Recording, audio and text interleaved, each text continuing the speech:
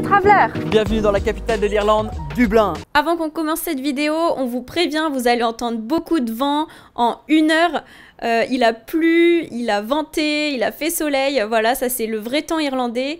Au moins, vous allez voir ce que c'est avant de venir à Dublin, donc ne soyez pas étonnés et excusez-nous pour euh, les petits problèmes de son par rapport à ça. Aujourd'hui, on va vous présenter une vidéo pour visiter cette ville qui est à la fois une ville historique puisque c'est une ancienne cité médiévale et une ville hyper moderne avec ses quartiers récents. Donc maintenant, ça fait 9 mois qu'on habite en Irlande, particulièrement à Dublin. Donc Dublin, c'est une ville entourée par la nature et une ville littorale bordée par la mer d'Irlande. Alors Dublin, c'est une ville qui est traversée par un fleuve qui s'appelle euh, le fleuve Liffey et du coup qui sépare la rive nord et la rive sud.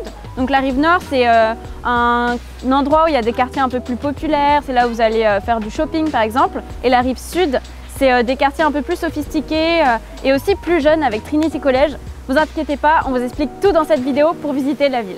Alors quand et comment y aller donc le meilleur moyen de venir en Irlande, c'est l'avion. Il y a deux compagnies irlandaises qui sont hyper pratiques pour venir ici, Aer Lingus et Ryanair.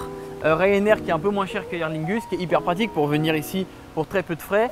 Et en une heure et demie de Paris, vous êtes directement à Dublin, donc franchement, n'hésitez pas.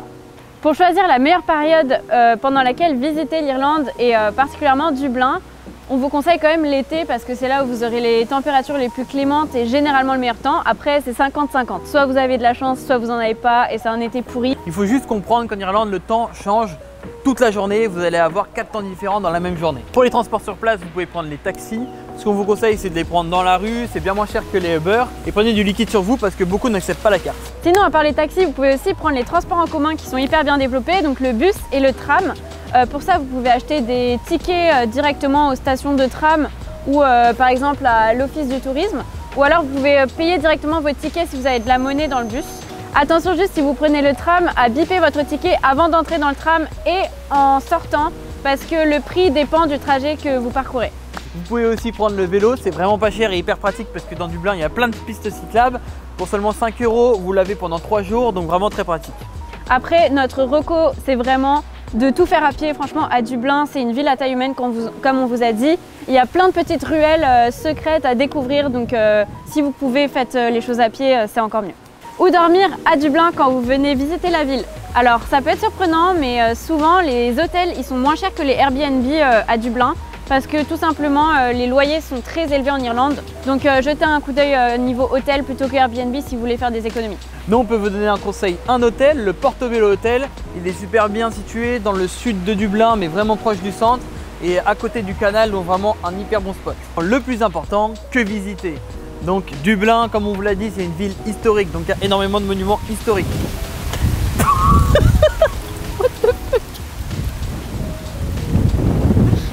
Trinity College avec sa bibliothèque extrêmement connue, le château de Dublin, c'est deux exemples incontournables. Après, ce que vous pouvez visiter aussi, c'est le quartier de Temple Bar et du coup faire une petite tournée des bars et notamment aller dans le bar appelé The Temple Bar. Ça, c'est vraiment incontournable aussi. Et euh, tout le quartier qui est proche euh, de Saint Stephen's Green, vous avez aussi le parc de Saint Stephen's Green du coup. Vous pouvez aller à Marion Square, un parc très joli mais surtout entouré de portes irlandaises magnifiques, pleines de couleurs. Vous pouvez aussi visiter bien évidemment le musée de la Guinness pour en apprendre plus sur cette bière que vous serez forcément obligé de boire. Et pour finir, une cathédrale très connue, la Saint-Patrick's Cathédrale. Après, si vous voulez faire du shopping et voir du coup euh, des endroits super connus, il y a les deux rues les plus commerçantes euh, de Dublin. Donc euh, Grafton Street au sud et O'Connell Street au nord. Donc ça, c'est aussi deux incontournables à faire. Et sinon, dans le quartier de Saint Stephen's Green, en face du parc, vous avez le Saint Stephen's Green Shopping Center qui est vraiment super beau à voir à l'intérieur. Donc allez jeter un œil là-bas. Et si vous voulez ramener des souvenirs en France, il faut aller à Carroll's, c'est le magasin de souvenirs euh, irlandais. Un parc génial à aller voir à Dublin, le Phoenix Park. Il y a plein de dingues que vous pouvez aller approcher, ils sont pas du tout craintifs. Un endroit génial pour faire des photos. Et maintenant, où manger à Dublin? Dublin, c'est une capitale gastronomique avec euh, tous les expatriés qui ont amené euh, leur culture, notamment dans la ville et dans les restos. Donc par contre, une petite particularité, c'est qu'il faut savoir que dans les restaurants, souvent le niveau sonore est très très élevé. C'est pas grave, faut juste s'adapter. Petite spécificité aussi dans les restaurants de la ville, il existe euh, des formules early bird. Donc en fait, si vous arrivez plus tôt au restaurant, c'est généralement avant 18h30 ou 19h. Pour manger à l'heure des Irlandais, vous avez un repas moins cher le soir, donc euh, à savoir. Et par contre, euh, pensez à bien réserver le soir, mais surtout le week-end et surtout en période estivale quand c'est plus touristique parce qu'il y a beaucoup de monde. Donc maintenant, on va vous recommander quelques restos. Évidemment, si vous venez en Irlande, c'est pour manger un fish and chips. Le fish and chips le plus connu, il est à Rathmines, il s'appelle Leo Burdock. Il y a plein de célébrités qui y sont allées, ils ont un peu leur wall of fame. Enfin bref, allez-y, si vous voulez manger un fish and chips, c'est le meilleur endroit. Dans les restaurants irlandais qu'on peut vous conseiller, il y a Elephant and Castle et mon préféré, The Barge. On vous met plein d'autres restaurants en description, n'hésitez pas à les voir parce que ce serait trop long de tous les dire, mais vraiment, il y en a pour tous les goûts. Et si vous voulez prendre un brunch, un incontournable à Dublin, c'est le trio de brunch Angelina's, Sophie's et Roberta's qui a été fondé en fait par un père de famille qui a appelé euh, ces trois restaurants avec le prénom de chacune de, ses filles. Et euh, ça vraiment on vous conseille, il y en a deux en rooftop et un près du canal, c'est super joli et c'est super bon. Et pour le goûter, euh, l'endroit préféré de Ben, c'est Butler's Chocolate. C'est vraiment aussi un incontournable. Ils vous font des chocolats chauds par exemple et d'autres boissons à base de vrai chocolat. Euh, donc euh, allez jeter un œil aussi et goûter leur chocolat. C'est vraiment hyper bon, vous en avez pareil pour tous les goûts, du chocolat chaud coquille, du chocolat chaud praline, du chocolat blanc chaud, enfin bref, pour tous les goûts. Donc maintenant, où sortir? C'est un endroit plus touristique parce qu'on vous l'a dit avant, mais c'est quand même super bien pour sortir. C'est tout le quartier du Temple Bar.